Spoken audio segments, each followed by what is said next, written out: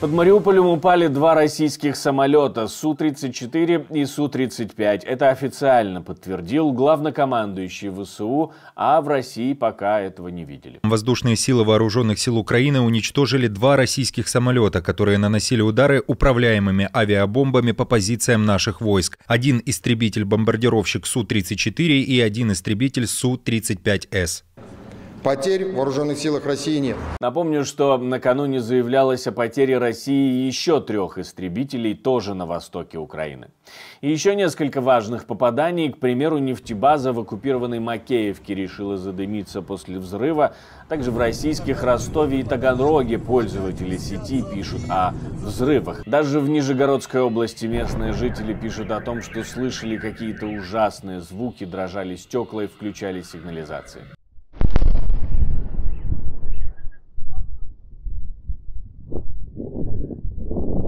Родные мои, понимаю, как вам нелегко. Но сейчас нужно еще потерпеть. Как воспитывать молодежь, как ломать их через колено. Об этом ведутся высокие разговоры в России. Молодые не слушаются, говорят оккупанты. Значит, надо силой. А для молодежь, а молодежь надо перепрошивать. Вот и получилась ситуация, когда пожилые уже ничего не понимают, а молодежи надо общение, надо новая культура, их надо не с нуля брать, как в любом регионе России, а с минуса. Украина готовилась к обороне пять месяцев перед широкомасштабным наступлением, говорит командующий сухопутными войсками ВСУ. Еще он говорит, что осенью 2021 понимал, что будет большая война и угроза придет не только с оккупированных территорий. Об'єднані сили я був призначений ще в липні 2021 року. Ну і провівши аналіз вже осінню, була дуже велика вирогідність, ми зрозуміли, що буде повноштабна війна. Е, по її масштабам було ще тяжко було розуміти, але що вона, як мінімум, захопить територію Луганська Донецької області, це було очевидно, тому що ми аналізували і дії противника, його відповідні примітивні заходи, його розвідувальні функції, які виконували вони на территории вдолж всего линии зіткнення, вдолж кордону. Масштаб боевых действий трудно было оценить тогда. Интересно заметить, что Валерия Залужного назначили главнокомандующим ВСУ ровно за полгода до вторжения. Силы обороны Украины готовятся к открытию второго фронта в северных областях, говорят в погранслужбе. Подчеркивают там, что готовы к любому развитию событий.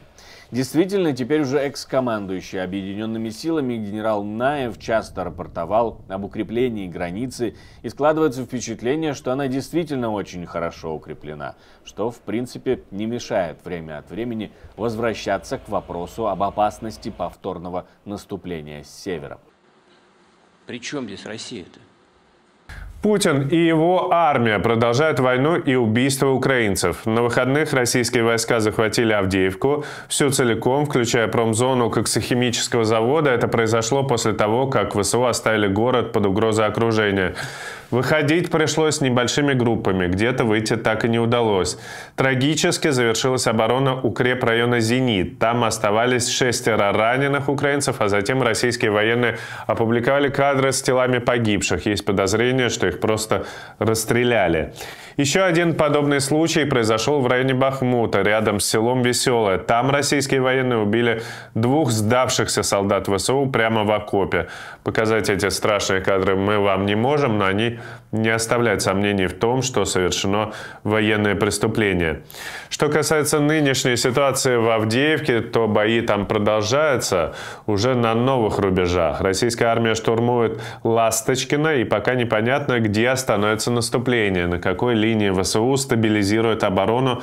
За время штурма Авдеевки с осени прошлого года российские военные потеряли около 47 тысяч человек и около полутора тысяч единиц техники, Такие данные приводят украинские аналитики. Точно установить пока невозможно, но порядок цифр выглядит близким к реальности. Это страшилка. Помимо Авдеевки, российская армия наступает в районе Тернов, Белогоровки, Бахмута и Новомихайловки, но без заметных успехов. Это абсолютно э, однозначно. Прокуратура Германии начала расследование по подозрению в раскрытии государственной тайны в отношении чиновников, которые отвечали за выдачу разрешения при строительстве Северного потока-2, сообщает издание «Бильд». По данным журналистов, в начале 2018 года на сайте горного ведомства города Штральзунд был опубликован разрешительный документ, в котором содержалась информация о районах действия подлодок НАТО и их вооружения – эта информация является секретной и составляет гостайну. За ее разглашение чиновникам ведомства грозит до пяти лет лишения свободы. В Министерстве обороны ФРГ считают, что утечка данных позволяет сделать вывод о возможностях военных операций. 26 сентября 2022 года газопроводы «Северный поток» и «Северный поток-2», которые проходят через Балтийское море, были повреждены в результате диверсии.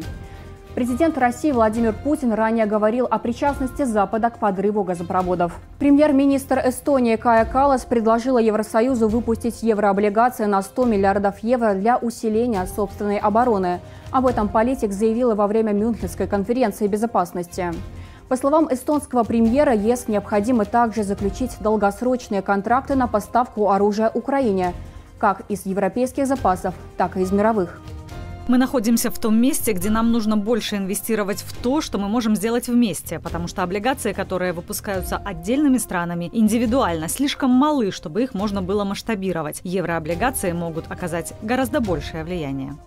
Кая Калас – одна из самых заметных политиков коалиции союзников Украины, однако также известна из-за скандала вокруг российских связей своего мужа. В сентябре прошлого года в Эстонии разгорелся скандал вокруг предполагаемого бизнеса в России, который ведет транспортная компания, частично принадлежащая мужу Калас. Тогда оппозиция требовала отставки премьер-министра.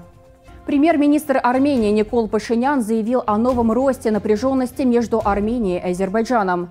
Об этом он рассказал на встрече с госсекретарем США Энтони Блинкином в ходе Мюнхенского форума, форума по безопасности. Пашинян напомнил о недавних вооруженных столкновениях на границе двух стран, которые закончились гибелью армянских военных. По словам Никола Пашиняна, переговоры с американскими партнерами на разных уровнях, которые запланированы в ближайшие месяцы, могут снять часть противоречий в армянско-азербайджанских отношениях.